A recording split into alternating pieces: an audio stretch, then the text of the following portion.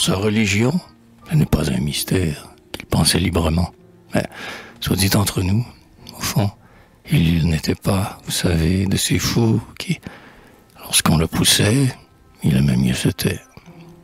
Donc il crut, lui, Pangloss, lui, le fils de Voltaire.